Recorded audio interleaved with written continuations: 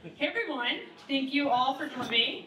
Um, we're so joyful to be here to celebrate um, the beautiful couple, Marin and Levi, this weekend. My name is Emily, I'm the maid of honor. I've had the pleasure of calling Marin a friend since we were just nine years old. We met at a summer institute class, tie-dyeing pillowcases, and now here we are today. We've been dreaming about this day since we were little girls, and now it's finally here. As I've mentally prepared for this speech this week and reflected on my friendship with Mary, I thought of many qualities to describe her. Kind, fun-loving, creative, humble, sweet, hardworking, one of a kind, and list goes on. Though these many qualities come to mind, I kept going back to the one word that um, describes her as a friend, and that is loyal. Marin has always demonstrated loyalty so well in our friendship. The book of Proverbs talks about friendship a lot and what it takes to be a good friend. Um, and I see so many of those qualities in my friend Marin. Proverbs 18 24 says, Some friends do not last, but some friends are more loyal than brothers. Marin's loyalty is clear evidence to me that our friendship is going to last forever. Marin loves her people so well. It's insane how incredibly thoughtful she is and intentional. Just um, look around at everything here today. Um, everything has been intentionally and thoughtfully created and placed by Marin. And the intentionality of this day is a very beautiful representation of how intentional she is in her close relationships. She goes above and beyond for the people that she loves the most. I feel so blessed to have such a loving, caring, and loyal friend as Marin. She has demonstrated these qualities so well in our friendship, and I know that she will be incredibly loving and loyal, an incredibly loving and loyal wife to Levi. Levi, you're an incredible man of faith, and I wouldn't want anyone else for Marin. I love watching you two interact because it's so sweet just to see how gentle and caring you are with her and just how genuine your love is through the way that you guys interact with each other. I think today might be the day that Marin loses her nickname Karma as she marries her best friend. So let's raise a glass and cheers to the beautiful couple, Marin and Levi. We love you guys.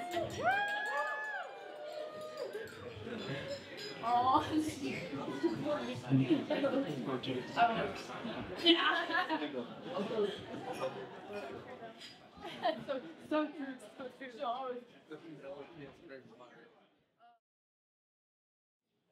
Sorry if it seems like I'm nervous, because I'm a little nervous.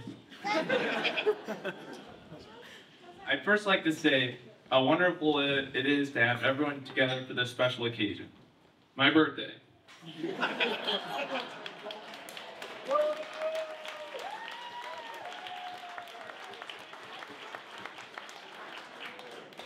The food looks great, but the birthday cake could have been a little less wedding-like.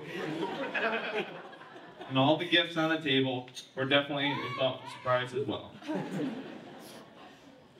For those of you who don't know, I'm Levi's younger brother, Colton. With this responsibility, like most know, I get the privilege to share a few stories and try to embarrass him along the way. Also, I'd like to point out that no one was late to the reception. Hopefully Levi can take some slight notes on that. For those of you who don't know, Levi is late to everything. My mom introduced Levi and I in the early 2000s, and ever since he's really become my best friend and my biggest role model. Levi is always down to go on crazy adventures that never sound like a good idea, but we always talk ourselves into thinking that they are. Whether it be the first ones to swim in the lake while the ice is still on, or attempting to run a mile backwards. As fast as you can. Although our time was impressive, I wouldn't recommend it unless you have crutches on hand for the next day. It seemed like we were always getting into some kind of trouble. Maybe by pulling a power wheel Jeep behind a four-wheeler till there was physically nothing left of it, or having wooden sword fights and pretending like we were Star Wars characters. Of course, until one of us hit each other's fingers, and went and cried to mom like we didn't expect that to happen. Levi did have a few achievements in our childhood. We were working out in the garage on a project, and Levi had the bright idea to take a blowtorch, and while I was turned the other way, he trying to burn the hair off the back of my calf. this uh, harmless joke ended up burning a golf ball sized patch of my skin, but it didn't heal for months later.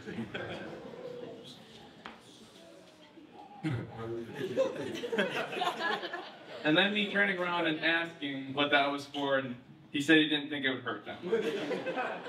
yeah. He loves spending quality time together and bringing the family together for activities. He's also very athletic and seems to be good at whatever he puts his mind to, except for cornhole. he has to be one of the worst cornhole players you'll ever watch or play with in your life. But for some reason, we always end up on the same team. But all jokes aside, Levi is always looking and determined to make himself a better person with everything that he does. And I know he will do just that when he takes on this new husband role. Marin, it really does take someone special to be able to sit next to Levi and watch a movie while he eats a whole bag of carrots and drinks a gallon of water. And if he's not doing that, he's probably sleeping. When Levi and Marin started dating, Marin had the challenge of walking into a household of six guys. She took it well and adopted fast as a chaotic country farm wife. You're always willing to tag along with Levi and I as we spend our countless hours in the shop, working on whatever crazy project we might have for the next GoBros video. I know I can speak for the whole family when I say we're happy to welcome another sister into the family. You both work great together as a team and complement each other well. I'm excited to see where life takes you guys and how you develop as husband and wife. If everyone could raise a glass to the new Mr. and Mrs. Good job. Oh, uh,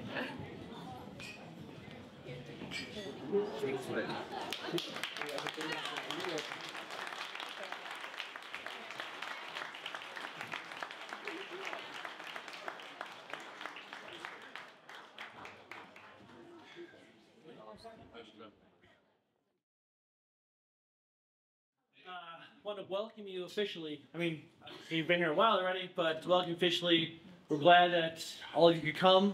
And I'll tell you, relative to that, we were, you know, usually we kind of expect some folks to not be able to come. Pretty much everybody came, which was awesome. Um, that's a testament to how much everyone cares about these two. Um, let me step over here. and See them.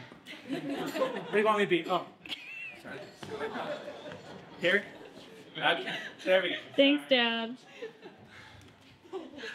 Marin, uh, when I was, she said I got to give a speech, and Marin said, uh, keep it under 10 minutes. And I said, okay, I guess I tend to ramble on a bit. I, I don't know, I don't swear, but okay. I'll try to do that. Um, there's a, a, a cliche where folks say, you're not losing a daughter, but you're getting a son. And well, cliches are true because people say them all the time, and it's true this case. Um, Sarah and I adore Levi, and we are super happy and proud of this young couple. Um, in preparing for the speech, I was trying to think, oh, what do I want to talk? What am I going to talk about? What am I going to say? And um, you know, I, I, don't have any good funny stories. You know, I, I, I, didn't. I mean, there's lots of little things, I guess, but it's like, oh, I'm trying to think of something, something perfect. And and something a memory occurred to me. And what's really weird, and I didn't talk to Josh. Josh mentioned this in the message, and that's what something that occurred to me. You know, this this moment in time about nine years ago. Um, and he mentioned it. Josh mentioned it. I didn't know he was going to do that. I hadn't talked to him about what he was going to say uh, in the service. But um, I'm a bit of a romantic, and I tend to believe in thinking about little moments in life that you know remembering those things because they just they can often be telling and, and, and tell us things about the future.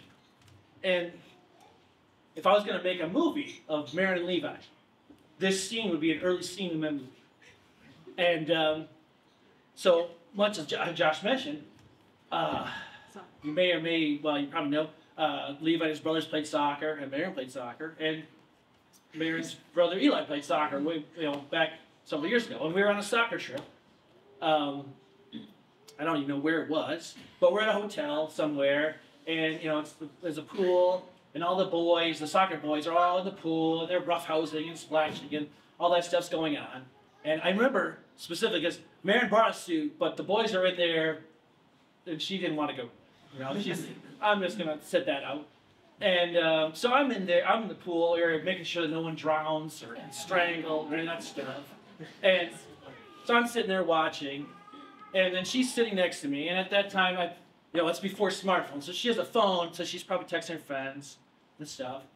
And then, not too long after that, Levi comes in and he sits down over here. And um, at, you know, at that time, I, I he's one of those Gobo boys. There's a bunch of them Gobo boys. I don't know how many there are. There's a lot. You know, I don't really know him, but you know, he's sitting over here, and Man's over here, and so Marin's, you know, she gets to look at her phone. She makes look at the boys, but she glances at Levi. And then over here, Levi, you know, he, he doesn't have a phone. he did. But, you know, Levi, look at the boys, look at the floor, he glances at Marion. You know, I can see this happening, but I, you know, I'm just watching. It's kind of interesting because I'm, you know, watching the Crazy Boys, but also watching these two. And um, basically, it was Josh alluded to, but all that that happened for quite a number of minutes. You know, that's going on as these as the chaos is happening, and, I don't remember what it was that triggered it. Basically, it's, it's kind of like time to go, but there was, in the end, there was a, there was a high. That's about it. And um, relative to that, I was kind of I guess something I should have mentioned prior. Both these two are a little bit of introverts. And uh, and those of you that know him, probably you know some of you probably know Levi better, some know Marion better, but the, some of you know both of them. But that's kind of how they how they are. And and um, you know all this attention and excitement today is really not their jam. I mean, they you know they they tend not to be looking for that. And and, and uh, like I said, that that little moment in time, that little scene in our movie, is kind of just a little. It gave you as a precursor of things to come. And it wasn't long after that that you guys had English together, right? Was it English class? Yeah. Yeah, so you had English class together. oh, okay, I'm coming up. I'm, I'm, I got it's the end here, actually. I guess where I was going with that, the rest they say is history, so to speak. You know, in English class they get to go, and the rest they say is history. But I think it's just important to think about. To me, it was like that's something that stuck in my mind. I remember that and it, you know it was just a little thing, but I can I remember that moment. And um, again, it's just the first scene in a movie that we all get to keep watching as it goes forward. And I guess where I'm, where am I going? I have a little here. All right, All right. all right, I'll move forward. So, with that, I ask you to raise your glass to our introverted couple. we wish you all the love and hope for the future. I love you both.